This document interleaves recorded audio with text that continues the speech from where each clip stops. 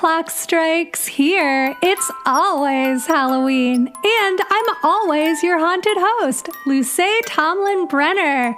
Welcome to Small Frights Friday. Each week on these episodes, I like to share a curated selection of calls from the All Hallows Hotline and letters from the Eek mailbag. Before we dig in, I just want to welcome two of our newest Patreon Ghoul Gang members, Maya Bukanyik and Rachel Merrick. I also want to thank Keith Fitzgerald for sponsoring this episode with a one-time donation. If you want to support the podcast, you can subscribe at patreon.com slash it's always Halloween.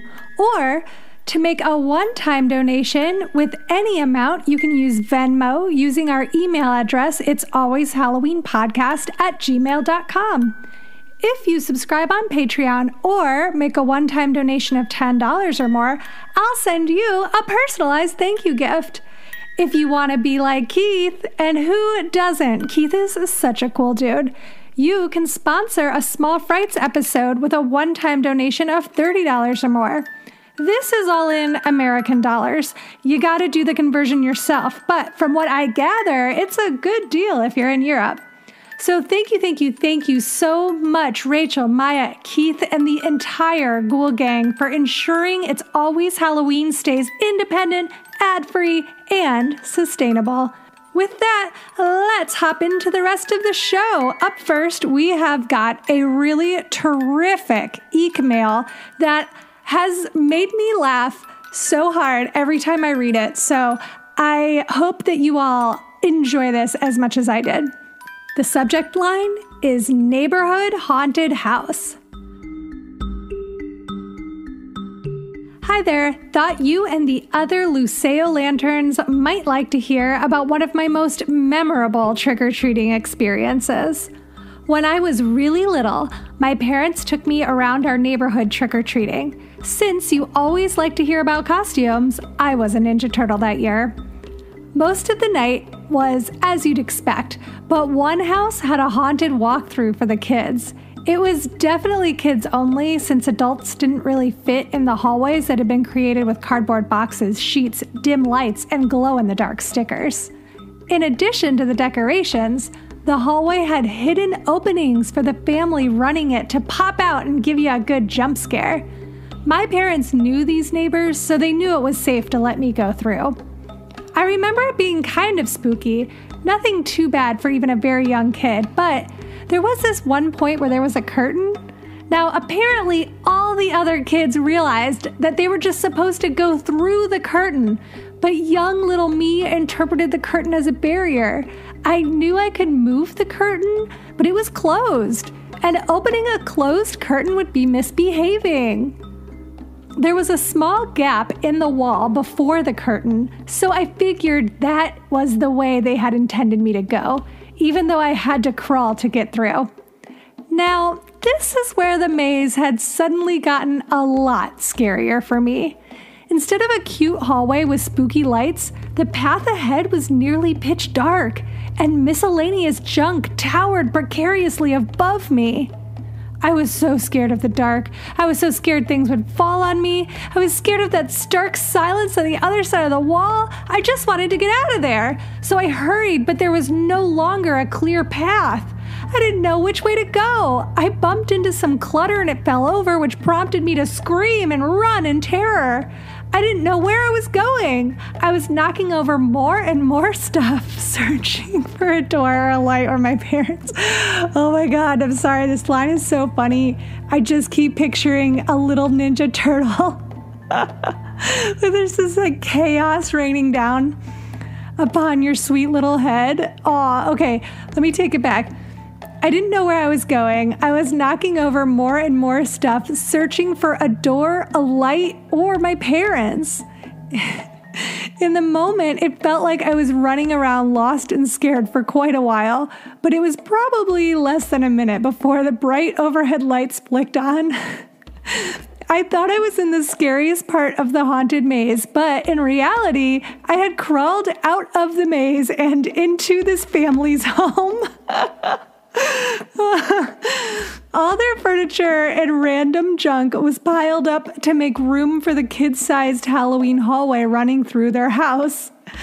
The mother of this other family carried me outside to my parents as I cried.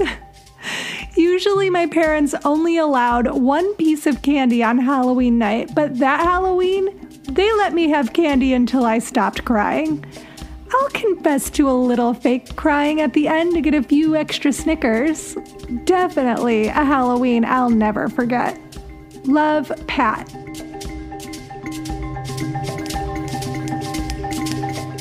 Oh my goodness, Pat. I will also never forget this Halloween. This is one of my all-time favorite stories. I could you just described it so well. I could just see you chaotically tiny and with a little like plastic turtle mask on, just bumping into everything. Did you have a mask or did you paint your face green? Because I've seen both. I was a child who trick or treated during the Ninja Turtle craze. In fact, I have a picture of me as a ballerina in a Halloween parade in 1991. Uh, and behind me is a Ninja Turtle with like a really cool fake uh, mask. Fake mask. It's what's the opposite? What is not a fake mask? Somebody who tore the face off a turtle and are wearing it Buffalo Bill style. all masks should be fake. Anyways, Pat, this story just brings me so much joy. Like if I had a teleportation device right now, I would I would use it to go back to that moment just to like stand off to the side and see you. Um, not that I want to laugh at your sad, tiny fear, but it's just, it's so sweet. It's so pure and wholesome. And like kid brain, trying to work out a new space you haven't been in before is just so relatable because when you're a kid, there's always some grown up shuffling you around. You don't really make a lot of decisions about like which way to turn and when. You're like constantly being pulled on like a leash or pushed from behind with a strong hand. So, to like to know that like yes curtains are not for children of course because in the adult world which is the world that children have to navigate most of the time especially in the 80s and 90s, a curtain usually meant behind it was pornography. or it was like somebody else's house or somebody else's space. So I could totally see where you're like, curtain, not for me. And I just I just think everything about this is so sweet and and funny and cute. And I love that like you were so scared and then you saw that being really sad got you more candy. So you're like, I'm just the most sad I've ever been. Yes, I will take some more Snickers. Gobble, gobble, gobble, gobble. Like no tears while you're munching the candy, but then tears again. So you'll get more candy. It's just so perfect. To me, this memory is just like the epitome of Halloween and trick or treating. And I just cannot tell you how much joy this brought me. So thank you so much, Pat please uh, feel free to share any other memories in the future. And uh, for all of the other Luceo lanterns out there, I am just obsessed with the trick or treat stories I've been getting lately. So do not hesitate to send them in. I absolutely adore them. All right, let's jump into our first call from the All Hallows Hotline. This is coming to us all the way from Lincoln, England, and it is quite haunting. Hello, Luce and fellow Luceo Lanterns. It's Rob here from the UK, and today I thought I would share a local legend in the city that I'm currently living in, the city of Lincoln. Now, just for some context, um, there is the quite famous pie shop on top of a really steep hill near the cathedral in Lincoln, and it's been there for many, many years. Um, but the one interesting part about this pie shop is it is allegedly haunted, and apparently it is haunted by at least two spirits. But I'm going to be reading for you um, a recount of just exactly what goes on in this pie shop, and then I'm going to share my personal experiences of said pie shop. Um, I'll also be sending through some images to look at. There's a photograph inside the pie shop of the building when it first opened, and um, if you look in the top window of this black and white photograph, you can see a little boy who is what we're going to discuss right now. Um, so, This lovely restaurant at the top of Steep Hill is haunted by what is probably one of Lincoln's most famous ghosts. Humphrey has been featured on the TV programme Most Haunted, and on this has been known to contact Derek Acorah. Humphrey is believed to be a young boy, but has only been seen by one person who complained about the staff letting their children run around the restaurant while she was dining in there alone. There were no children in the building at the time. It is not known why Humphrey haunts the place, but he has been known to get up to all sorts of mischief, particularly if the person he is haunting refuses to acknowledge him. This was particularly found out by one of the chefs who worked at the shop and used to work um, alone in the building for at least an hour every shift. He would often hear noises of somebody running around the building, but upon further inspection, there was nobody there. One day he went to investigate the noises more thoroughly, but couldn't find anybody. However, when he re entered the kitchen, pots and pans had been moved around from where they had previously been left. Being a little scared by this, he said, Don't mind me, Humphrey. At which point the sounds stopped. Now, I did a lot of research into Humphrey and the pie shop, and the name Humphrey was the name that this particular chef came up with. It's not recorded anywhere that there is a child of a spirit who was called Humphrey or anything like that. The chef just decided to pick the name Humphrey, and it seemed to please the spirit. Continuing on, the noises happened every day when the chef entered work, and until he spoke to Humphrey after this, then when they would abruptly stop and nothing else would happen. On a particularly busy Christmas market day, the chef ignored Humphrey's pleas for attention and left the kitchen to bring some supplies down. On returning to the kitchen, though, it would appear Humphrey didn't like being ignored because not only were there pots and pans everywhere, there was a large carving knife sticking out of the floor. Since then, every time staff have been alone in the building, they've been made sure to speak with Humphrey and have not been disturbed since. Adding to this again, uh, we, uh, me and my friend, would I'll go into later. We did a lot of research into this building. We spoke to some of the staff. It's um, a etiquette that when you enter the building, if you're opening up or if you're closing, to say good morning, Humphrey, or if you're leaving, say good night, Humphrey, to sort of appease the spirit. The attic is also said to be haunted by the sound of money being counted and then dropped, as if the thief had been discovered with the money. Its sound rolls across the floor and then stops abruptly. So that was the second spirit who um, apparently resides inside this quite famous pie shop. Now, the pie shop itself is lovely. Um, it's like I say, we did a project there. I majored in drama, and in our final year, our final project, we were doing all about ghost stories, which, as someone who loves Halloween, was fantastic, and I was very excited to be part of. Um, but the the the pie shop drew us in. We heard some stories about it. We went on a ghost walk and learned all the tales there was to know about Humphrey. We interviewed the staff, we interviewed the managers, and then we did our performance inside the pie shop. Now, when we were there, we noticed two things which really terrified us. The first was when you go downstairs to one of the dining areas, it's made of these like old stone steps. And when you get down there, there's a stone archway sort of curling around. It's a very confined space and it's very old fashioned but we were looking around the space trying to decide where we would stand, where we would be doing our performance, and then someone lifted their foot, and there was this gut wrenching sort of noise, and we all sort of just stopped dead and looked at each other with like blank faces and wide eyes, like, what was that? And we found out later on that um, it wasn't anything malicious, it wasn't Humphrey, thank goodness, um, but it was a certain floorboard that if you stepped on it, it made this horrendous sound that just really, it sounded like the gates of hell had been opened. So we used that in our performance, and that was fantastic. The only other thing we noticed while we were there is there was a weird uh, interference with our recording equipment and with how we were playing our sounds and the Bluetooth, we noticed that from going into the basement, the Bluetooth lasted to a certain extent, but then if you went past a certain threshold, the Bluetooth just cut out completely. And luckily, on the day of the performance, everything went according to plan. We all said good morning, Humphrey, and it went off without a hinge. But we did find it very odd that there was a certain place that just seemed to cancel out any new technology, and it was insane.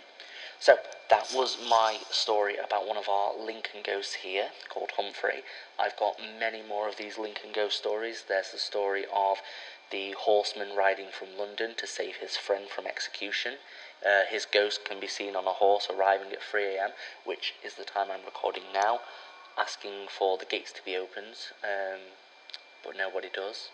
There's also the story of a headless priest whose head rolls down the famous steep hill and you can sometimes feel it. People have said it feels like a leather football hits them in the back of the knee, but that is in fact the headless priest. So if you guys enjoyed this and uh, would like to know any more local uh, Lincoln horror stories, ghost stories, then I'd be happy to get back in touch. But thank you for listening. I hope you enjoyed it, and I hope you all have a wonderful day, night, or wherever you are. So long. Wow, Rob, thank you so much for that detailed and well researched story. I was so creeped out while I was listening to it. Um, I think I've said this before, but I record the podcast in my closet. And so I, uh, my back faces the door. And so I had to keep like, I kept feeling like there was somebody behind me, and I was just, it just made me so nervous. You guys know I'm scared of ghosts. I'm scared, but I love the story, so keep them coming. Um, I cannot wait to go to this little pie shop. Somehow you made it sound really adorable and also like very terrifying, which are my two favorite things. Uh, adjectives, maybe adorable and terrifying, two favorite adjectives. Um, Robert also sent the best pictures. So we actually have a picture of Humphrey, which I will tell you, very upsetting. Um, and then of the pie shop, which is uh, very cute. He's also very sweet to include a picture of the pies that you can get in the pie shop. I have never been to England, I've never been to Europe, and I just am squealing here thinking about how fun it would be to do these little ghost tours of like all the places that you guys have called in and written in about and how fun it would be to do like a little live episode from the pie shop. Um, but this sounds like you had quite a scary experience but also an experience that like really like thrilled you. And I'm just really grateful that you shared it with us. So thank you so much for that. And look for the pictures on the It's Always Halloween podcast Instagram. Okay, now let's get back to the Eek mailbag. The subject line for this one is a horror novel for you. I've got another horror novel recommendation for you House of Leaves by Mark Z. Danielewski. It's a fresh take on the haunted house trope. Instead of the house being haunted by an entity, the house itself is the entity, with the ability to rearrange its rooms and hallways to create new ones. Some unfortunate souls may never find their way out. The text on the page even adapts to evoke a sense of space. For example, it will narrow to a thin line across the page to mimic a narrow hallway. I won't spoil any of it for you. You should read it yourself. But I'll say one more great thing about this novel is that it comes with its own soundtrack. Mark's sister, Anne Danielewski, released an album at the same time called Haunted, that goes perfectly with the book, including lyrical references to the text itself. Thanks, Allison. P.S. I love the show and I'm proud to be a Luceo lantern. Well, Allison, we are proud to have you as a lantern, and thank you so much. This recommendation warmed my heart because I have attempted to read House of Leaves no less than five times, and it sits, it's perched even upon the bookshelf that faces me as I sleep, just lurking, waiting, calling, mewling for me to reopen it and try to read it again. I do not say this derisively. I am very pro House of Leaves. I think it is a terrifying book. I think it's why I've stopped it and restarted it so many times. It's also a little bit of a challenge to read, but that doesn't mean you shouldn't do it either. It's just as Allison said, it's written in a very creative way. With uh, it's almost like the uh, infinite jest of horror novels, with footnotes, and it's a book within a book, and uh, there's you know, different pages are written in different ways. Like one page is a spiral, some pages are written in all kinds of different fonts. You have to flip from the back to the front, to the middle, to the back. Um, it is an active book. Do you need your book to engage you more than just a boring old book with words? House of Leaves is for you. Um, I just want to, I'm going to read you a little section of it that I think is very uh, creepy, and uh, you can get kind of like a vibe for it.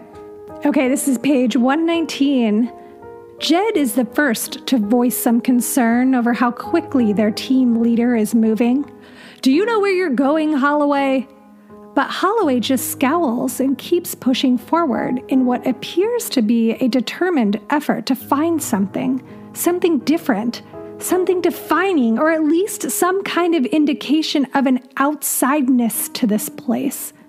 At one point, Holloway even succeeds in scratching, stabbing, and ultimately kicking a hole in a wall, only to discover another windowless room with a doorway leading to another hallway, spawning yet another endless series of empty rooms and passageways, all with walls potentially hiding and thus hinting at a possible exterior, though invariably winding up just as another border to another interior.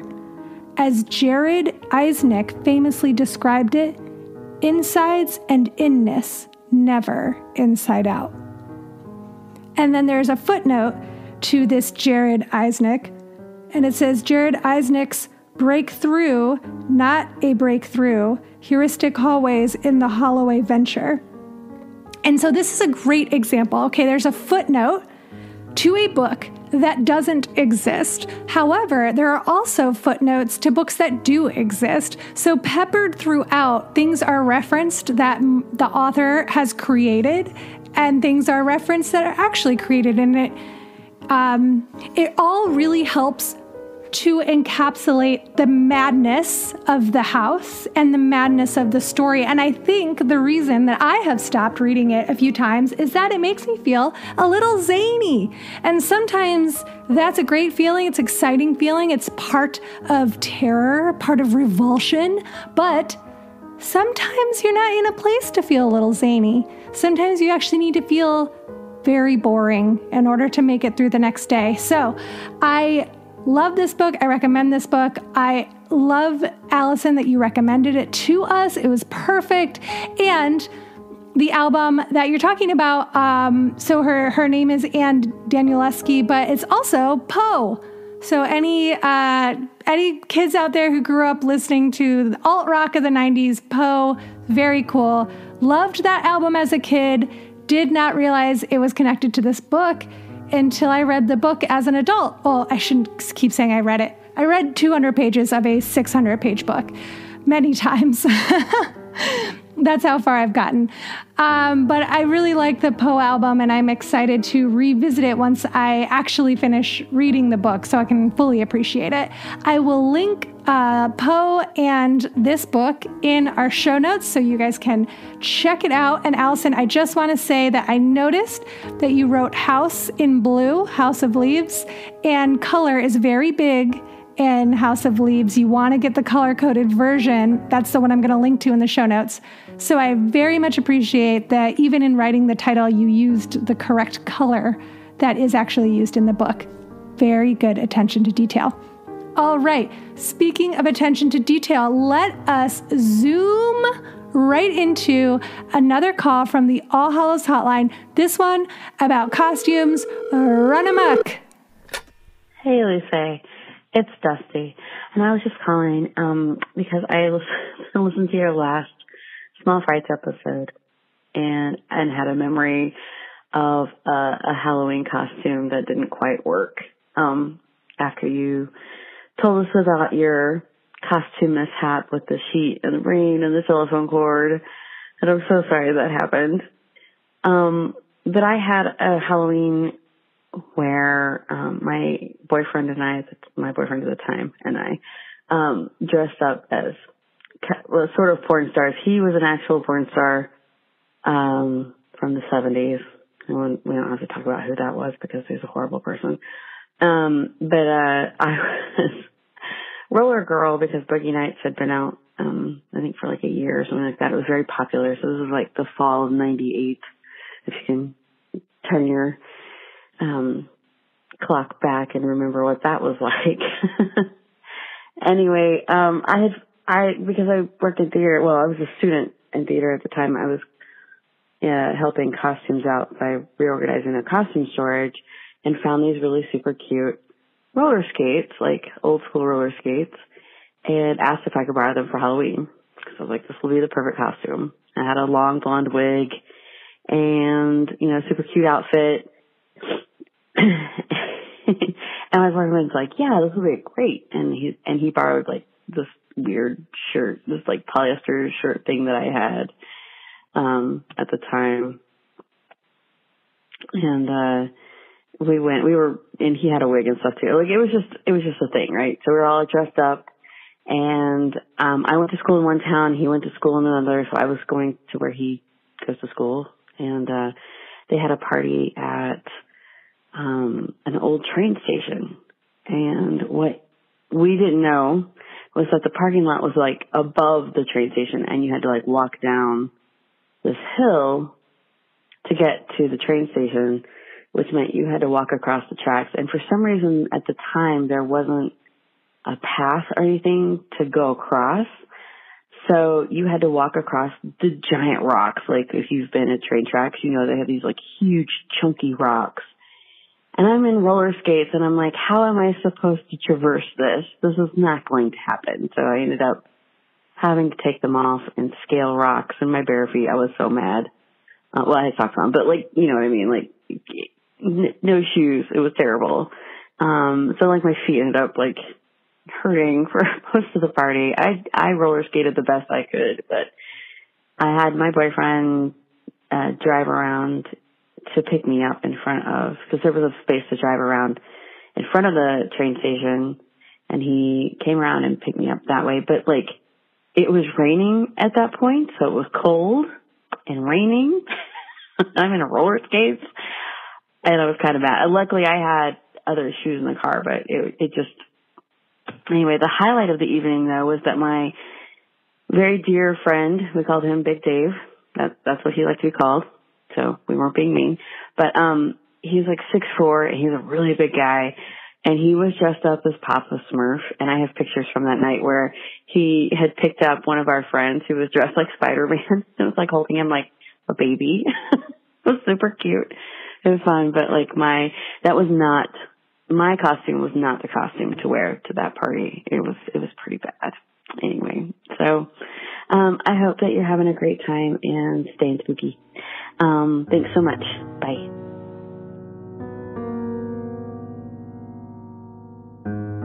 Oh, Dusty, poor Dusty. Wow. Roller Girl, what a hilarious costume. And I, I love that the my story about uh, when I was Linda from Halloween getting caught in the rain, and that you have this caught in the rain story. But it's also an overlap with my story where I talked about being a uh, drive in diner waitress who was on skates. So we have two costumes in common. Your story overlaps two of my experiences getting caught in the rain in a uh, tedious costume and a, a difficult to walk around in when it's wet costume, cumbersome. That's the word I was searching for. Walking around in a wet, cumbersome costume and navigating hard to navigate terrain in roller skates. We have that in common. Thank you so much for sharing that story. Um, I was not an adult when Boogie Nights came out, so I did not know that there was like, that it was very big for adults at that time, but I can imagine it's an excellent movie. I really love it. And of course, all the costumes in it are so cool, and it's such a fun movie right up until it's like the 80s. Um, but still such an excellent film.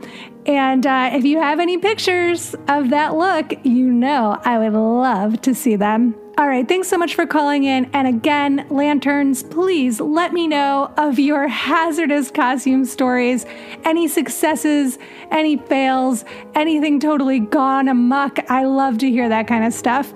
So let's now get into another Eek mail. This one has the subject line, very uh, beguiling subject line, better than candy. Everyone loves the houses that give out the full size candy bars, but when I was a kid, there was one house I liked even more. I don't know why. Maybe she couldn't get out to buy candy, but there was one old woman who gave out quarters to trick or treaters. She always had paper cutout decorations in her windows, and every year she gave out quarters. It might not sound like a lot to modern trick or treaters, but in the 80s, a quarter could buy way more than you'd expect. Or maybe I was just a weird kid who valued money more than candy. Appropriately enough, in 1989, my costume was Scrooge McDuck. Well, I should say my first costume. That year, I borrowed old costumes from my friends, and in addition to the normal trick or treating for candy, I went to her house over and over in a different costume each time. I brought them all in a bag, which I hid in a bush near the road. After every trip to her door, I'd change costumes and go again. I had enough costumes that I made $3.50 that night. I know this might sound a bit mischievous, but since teenagers in my town were going around that same night with eggs and toilet paper, I think I was still a pretty good kid. And that money did end up being spent at the Scholastic Book Fair. Hope my story made you smile, Dave. Dave, it made me smile, it made me giggle, it made me say, "Oh boy, Dave." I I, you know, you got me there at the end because yes, of course, I'm going to, I'm going to feel a little like, oh no, that was that poor old woman. But yes, you took it to the Scholastic Book Fair, so of course, very good job. It was going to the important things like lenticular rulers and holographic bookmarks and Fear Street novels. Um, so I applaud you for spending it wisely. Um, I just had this vision of you being like, and then I bought candy with it, like candy that that old woman owed me. Um, I would have been psyched to get quarters as a kid, uh, even in the '90s. I there was a guy who, without a doubt, would always give nickels and pennies. I feel like it was always like seven cents who knows why? I'm thinking maybe that seven cents was something that he got as a kid and it was a lot. And in his mind, he's always like, seven cents! That's the number of Halloween, the magical trick or treating number, seven. So I was always happy with it because I am, I like to think I don't have Scrooge McDuck energy, but I do also like to uh, be thrifty and have money to care for myself. So I loved, especially as a kid, I loved saving money. I had a little pink bunny tin that I would put all my um, paper money into, and then a little wooden piggy bank that I'd put all my coins into. And I just loved getting money on Halloween because it was different than the candy. And uh, it was always jingling around at the bottom of like my plastic bucket. And so, like, the whole time trick or treating, before I realized I was getting seven cents, I'd be like, oh, listen to that money rattle. Like, I loved it. Um, this is very funny, Dave. Very clever. And I just. thinking of you on the road, just like a kid, like hurriedly, like getting naked, switching costumes, like so silly. And I'm very glad you didn't egg or toilet paper anyone. Um, thank you so much for sharing that memory. It's delightful. Um, as always, I want to hear your trick or treating memories, your Halloween party triumphs or disasters, your book and movie recommendations, and all haunted histories. Share them with me by calling into the All Hallows hotline at 802 532 dead or write me an email at it's always Halloween podcast at gmail.com. as I said at the top of the episode, if you love It's Always Halloween, please subscribe at patreon.com slash it's always Halloween or make a one-time donation over Venmo using our email address, it's always Halloween podcast at gmail.com. You can also support the podcast by buying It's Always Halloween merch on Redbubble. That link is in our show notes and our Instagram as well. This episode of It's Always Halloween was sponsored by Keith Fitzgerald. Very cool dude. It was written, researched, and performed by me, Luce Tomlin Brenner, with help from your fellow Luceo lanterns, Dusty, Allison, Pat, Dave, and Rob. Thank you so much to all of you for contributing. The editing, sound design, and theme music today is by Pete Burns. Thank you so much, Pete. You can follow Pete at Mittenberries. If you want to follow me personally on Instagram or Twitter, you can do so at LTB Comedy. If you're on Apple Podcasts, please subscribe and write us a little review so that other like minded ghouls can find us. Here is a super cute and friendly, lovely one that we just got this week. The subject line is I love Halloween. Perfect. Me too. And it is from Hellraiser. It goes on to say, love learning all the fun history about Halloween traditions and other spooky stuff. I especially like the way Luce thoughtfully and compassionately interrogates cultural appropriation and cultural exchange and harmful horror tropes. So, so much fun. Love the way that you engage with your fans. Thanks. Thank you, Hellraiser. You know, I am picturing you as Pinhead right now, and I love it. Would love to count Pinhead as a fan of the podcast. So, please uh, be like Hellraiser, be like Pinhead, leave us a review. We'll read it on the air.